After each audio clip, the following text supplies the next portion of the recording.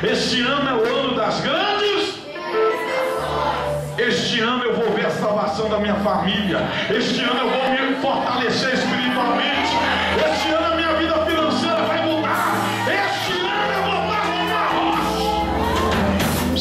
Ei, dá um burro nessa pedra aí. O que, que vai acontecer? A pedra vai machucar? Por que, que não vai machucar a pedra, doutora Luz? Hã? Assim você tem que entrar o ano firme.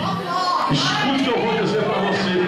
Levante uma das mãos que eu já vou profetizar. Pode até tentar te bater, pode até tentar te machucar, mas quem tentar te machucar vai ficar machucado.